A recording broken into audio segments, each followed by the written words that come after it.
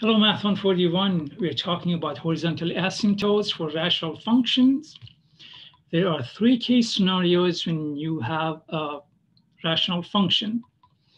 The case one, uh, I, write, I wrote that in blue, f of x is such that the, the highest power of the numerator is greater than the highest power of the denominator.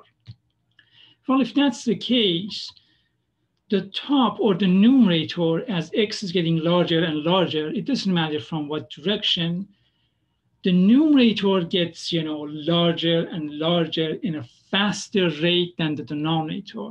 So therefore, in the first case, if the highest degree of the top is larger than the highest de degree of the denominator, there is no horizontal asymptote. So for case one, we have none, no horizontal asymptote. How about case two, uh, the green? If n or if the degree of the top is smaller than the degree of the denominator. If the degree of the top is smaller, that means that this time the denominator is getting larger and larger in a faster rate and since the denominator getting is larger in a faster rate, the numerator, it doesn't matter how big it is, divided by a number that is much larger than itself is approaching zero. So y equals y equals zero or x-axis or x-axis is the horizontal asymptote. Okay. And what if case three, the degree of the numerator and the degree of the denominator are the same. I mean, we are talking about the largest degree, something like, let's say, um, let me go to the next page. Let's say, and let me do this with black, f of x equals to say x to the power of five plus da da da da and over x to the power of five plus something else. Well, in this case, in the third case, the uh, numerator and the denominator are getting larger and larger at the same rate. And so we are going to, at the end, you know, we are going to win for the very, very large values of x. What's becoming very important are the coefficients of the largest uh, power. Let's say in this case, let's say if this was 2x to the fifth, and this one, let's say, was 3x to the fifth. And I'm thinking, judging by the uh, tone of that email, this was a confusion for uh, student that why is that the case? Well, let me just show you why that is the case. Why is it that if the higher power of the top and the higher power of the denominator are the same, then our um, uh, horizontal asymptote is depends on the coefficients of those powers in this case, y equals 2 over 3 is going to be our horizontal asymptote. Let's have an example of that. Let me go to the next page. Suppose I have, let's say, y equals uh, 2x to the power of 5 plus 4x minus 1, something as simple as that. And in the denominator, I have, let's say, uh, 3x to the power of 5 minus 40x plus 500x, something that definitely doesn't look like the numerator. Okay. So in here to show you, informally prove to you that y equals, y equals 2 thirds is my horizontal asymptote, I'm going to go ahead and divide the top and bottom of this main fraction. I'm going to divide everything by x to the power of 5. So divide all by x to the power of 5 divide the denominator by x to the power of 5. Or you can think of it as multiplying it by multiplying top and bottom by 1 over x to the fifth. It doesn't matter how you look at it.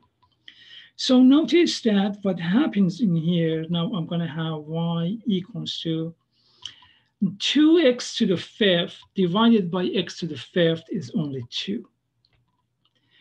4x divided by x to the fifth is going to be plus 4 over x and minus 1 over x to the fifth. And let me put a line here to for things not to get mixed. And on the denominator, I have um, x to the fifth cancels x to the fifth. So I have 3 minus 40 over x to the power of 4 uh, plus, um, and actually, let me get rid of this x in here, plus 500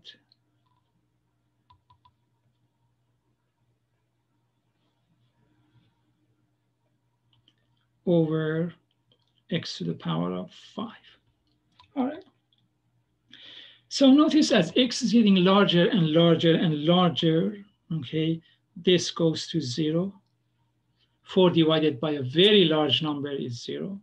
I mean, million, billion, billion, billion, billion.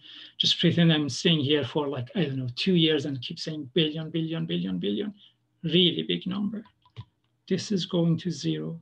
This is going to 0. This is going to 0. So y equals to 2 thirds is the only thing that I have left. So here you're going to say, look at this and say, could I not use this for uh, other two cases, case one and case two? And you should certainly do that. Let's, let's look at case one that we have.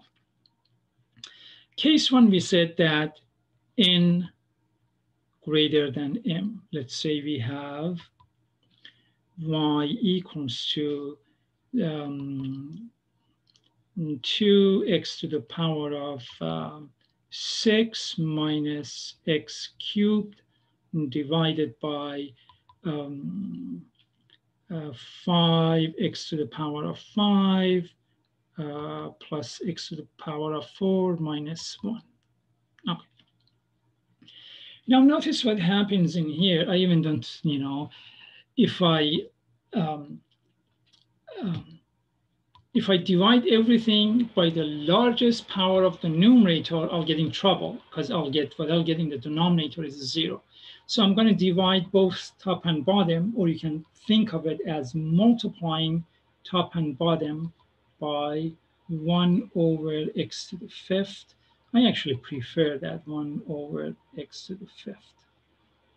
So now what I'm going to have is y equals to uh, 2x to the sixth times x to the fifth is going to only be 2x because x to the fifth cancels x to the sixth. I'm left with 1x minus, okay, I'm going to have 1 over x to the second all over let me put this y equals further down. In the numerator, I'm going to have a 5 plus 1 over x minus 1 over x to the fifth. And as x getting larger and larger and larger and larger, okay, this is going to 0, okay, this is going to 0, this is going to 0, and 2x up here is you know, as x is getting larger, is approaching infinity. And in infinity divided by five, you know, a very, very, very, very large number divided by five is still very, very, very large number. So it's not, so my rational function or y value is not approaching any particular number. So once again, if the degree of the numerator is greater than the degree of the denominator, we have no horizontal asymptote. Okay.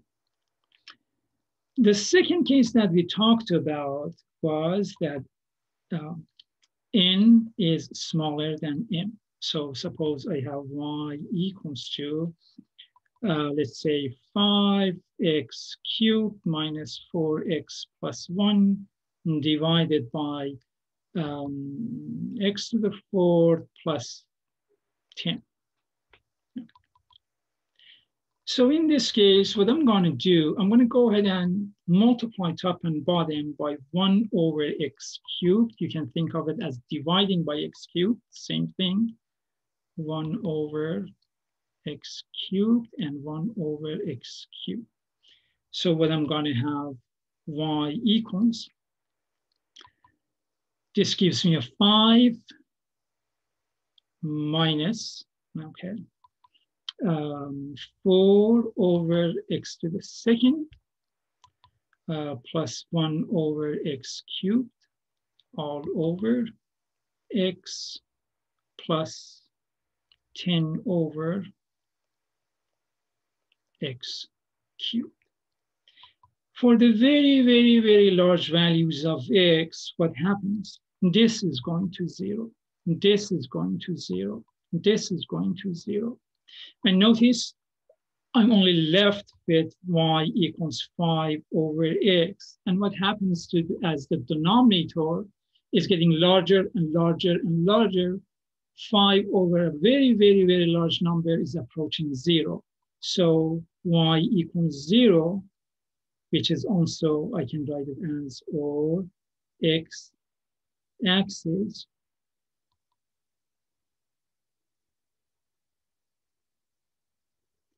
is my horizontal um, my horizontal um, asymptote. Now, one recap on last time. For rational functions, you know, we have three case scenarios. The degree of the numerator is larger, and if that's the case, I'm going to have no horizontal asymptote. Case two, the degree of the numerator is smaller. If that's the case, then y equals zero or x-axis is my horizontal asymptote.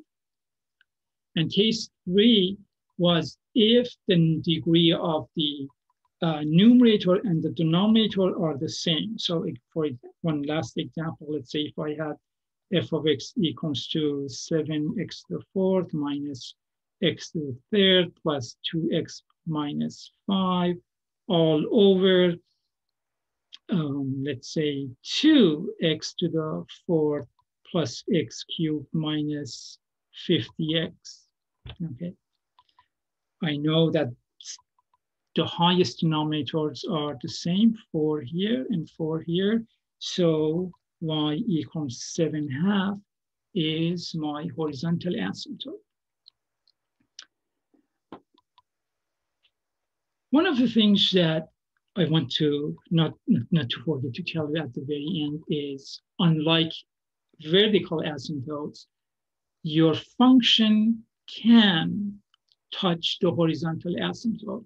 We have functions that sometimes, you know, they go through the horizontal asymptote and then bounce back and come back several times, you know. So uh, um, can the graph of a rational function touch or cross the horizontal asymptote? And the answer is yes, it can. Okay, I hope you find this video helpful. Thank you.